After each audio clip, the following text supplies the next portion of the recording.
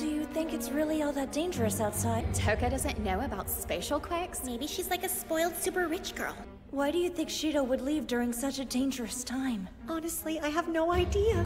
I'm sure Shido will be perfectly fine. There's really nothing to worry about, Tohka. You'll see. Am I cool or am I the coolest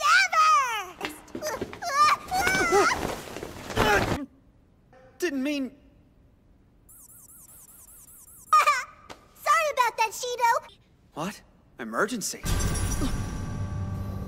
Tohka? Shido, what were you doing just then? You worried me half to death. You came here to make out with her? How dare you!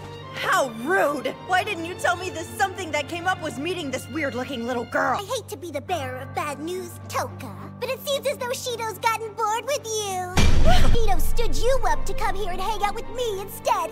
No! Shut up, shut up, shut up, shut up, shut up! This can't be happening! It can't You get it anymore! Ugh, I am too wanted! Shido is the one who said it was okay for me to stay here with him. Why are you lying to me and being so mean? What's wrong? It won't talk. Make it talk! Give it back, please. Hey, so listen, Tohka. Could you maybe give that back to her, maybe? He was right. You really do like her better than me.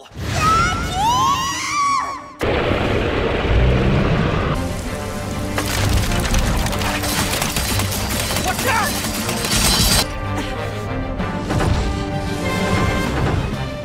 Okay, Tohka? You're not hurt?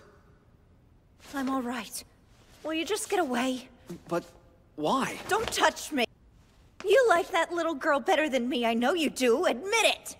Wait, what?